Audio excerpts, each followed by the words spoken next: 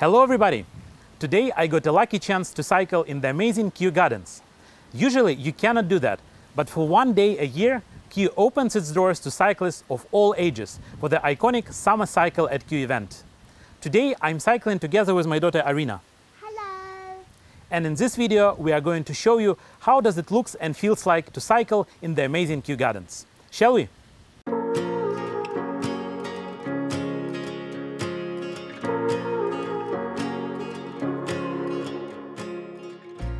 Kew Gardens is the largest and one of the most beautiful botanical gardens in the world, and it feels truly amazing to cycle next to its iconic landmarks such as Palm House, Temperate House, Great Pagoda, The Hive, and many more. The gardens are absolutely huge, with astonishing 300 acres of space, so everybody will be able to find something they would love there. Even though the gardens are one of the most favorite places for lots of Londoners, it doesn't feel crowded at all during the annual Kew Summer Cycle event. So you can both enjoy the serenity and tranquility of the gardens, as well as socialize with your friends and family.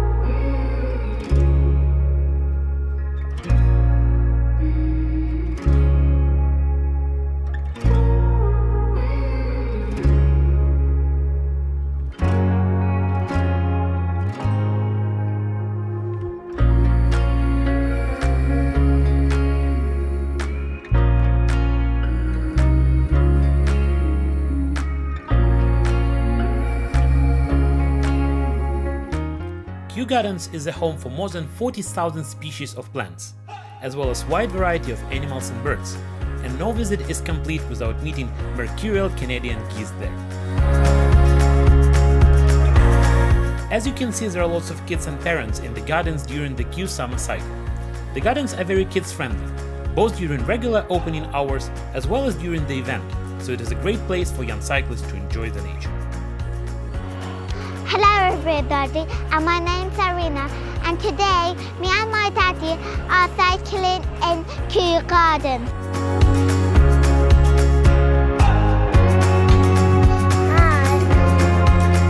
If your kids would like to have even more action during the visit, there is an amazing children's garden playground, which is also open during the Kew summer cycle, even though the event happens late in the afternoon.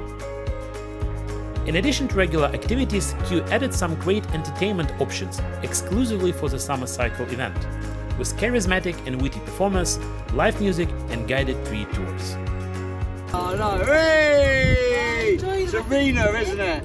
It took me a moment there. I had to tick, tick, tick, tick, tick, tick, tick. I remember. Brilliant.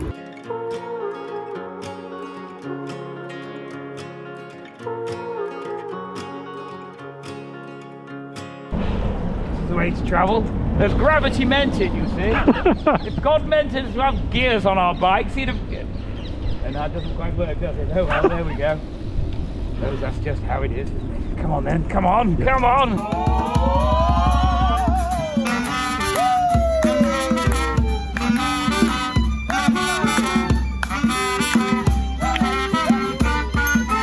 So we are about to conclude our journey through Kew Gardens. An experience so far has been absolutely amazing.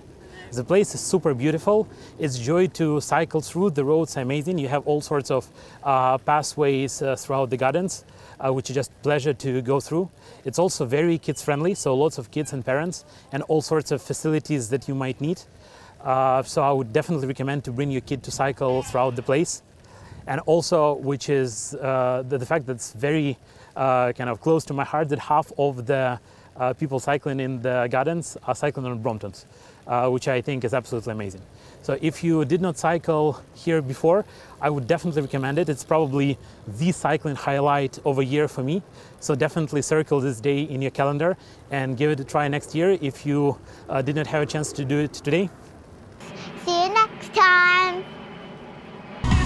Are we off? Time for bed, isn't it? I think I need to sleep. Are you feeling a little tired?